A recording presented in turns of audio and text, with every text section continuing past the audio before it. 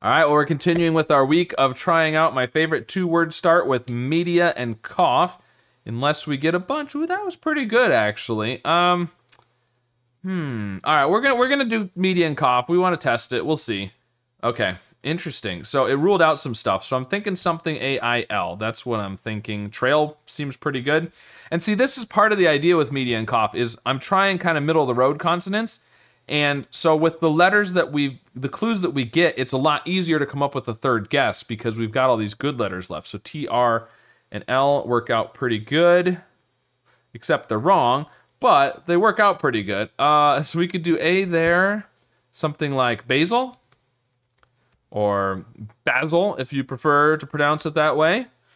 Um, okay, well, the A is at the beginning. Man, all of a sudden we're on our fifth guess. Uh, what? So, the interesting thing is we've we've tried all the vowels. So unless there's a consonant, we've got to have. I mean, unless there's a Y, we've got to have a double consonant in there or another I, something, something like this. But I don't think that's very good. So I'm thinking a double consonant, something like April, but there's no R. Anvil. Ooh, anvil's pretty good. Is there something else it could be? I wonder. That's pretty good. I'm just worried because I've only got one more guess after this. So if there's you know, several possibilities I'm not thinking of, then I'm not going to be able to uh, do a test word. But we know the A is at the beginning. It's got to be A double consonant IL, I think.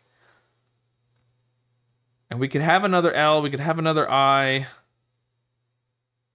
But I don't think this. I think it's got to be anvil. There we go. All right, very nice. Well, once again, media and cough. I just noticed my streak reset again. Look at that current streak one. I didn't miss any. I didn't. I didn't fail. I didn't skip a day.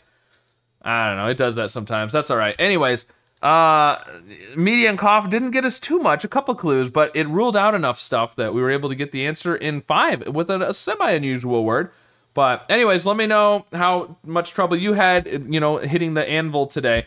And of course, be sure to subscribe for more.